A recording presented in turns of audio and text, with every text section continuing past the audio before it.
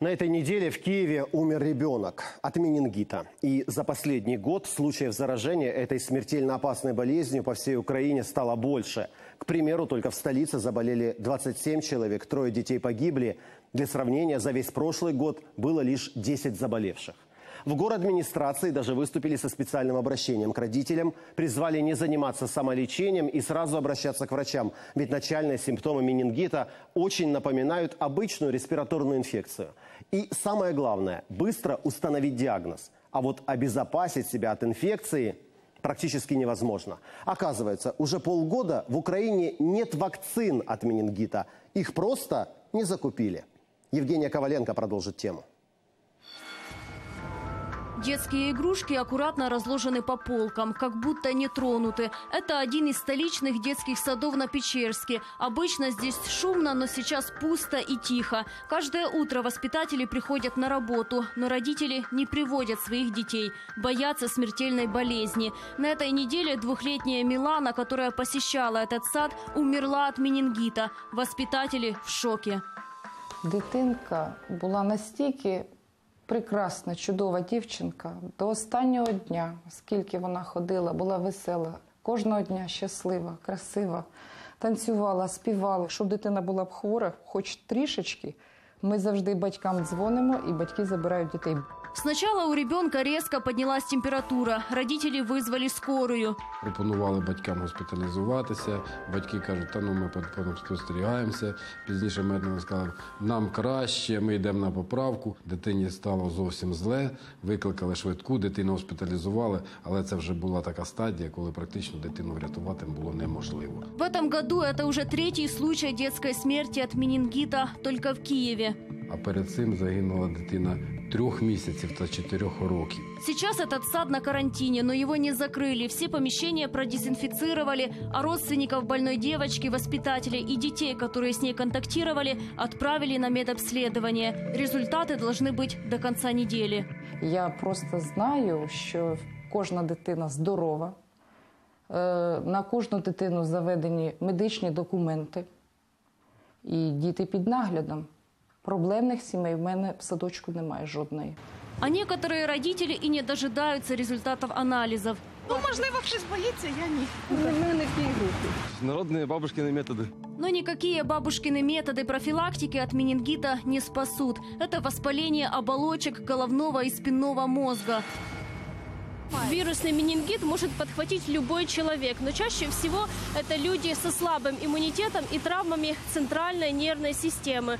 В особой группе риска маленькие дети. Почти каждый двадцатый ребенок при заболевании умирает. Заразиться можно где угодно – в транспорте, магазине, в больнице или просто на улице.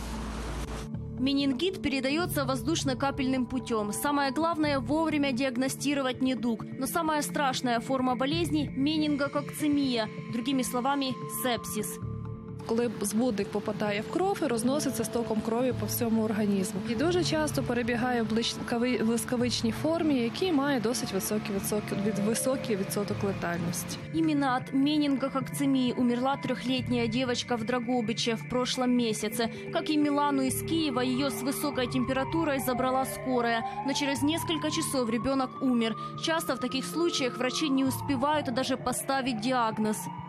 Судоми були, а потім пішла е, висипання обільні по всьому тілі, і крововиливи в наднирники, наскільки мені відомо там. И об этом случае другим родителям в детсаду, куда ходила больная девочка, сразу ничего даже не сказали. Они узнали об этом из новостей. Это их очень возмутило. Родители требовали немедленно ввести карантин. Некоторые подозревали, что переносчик вируса кто-то из работников сада. Ці зробили вологе прибирання, е, Провітрювання, е, кварцування приміщення. Санстанція зробила дезінфекцію. Були обстежені всі діти дошкільного закладу і всі працівники дошкільного закладу. Результати показали, що носіїв менінгококової інфекції у нас немає. Сейчас уже об этом случае вспоминают с ужасом, но паника прошла. Хвилювання завжди є, навіть на вулиці, не тільки в садіку. І я вважаю, що тут зараз епідемія пройшла і все нормально. Врачи говорят, менингит действительно сложно диагностировать, ведь симптомы такие же, как при обычной ОРВИ – головная боль и лихорадка. Единственный способ хоть как-то защитить ребенка – это прививка, но только не в Украине, ведь вакцины попросту нет. У нас вже півроку як нема цієї вакцини.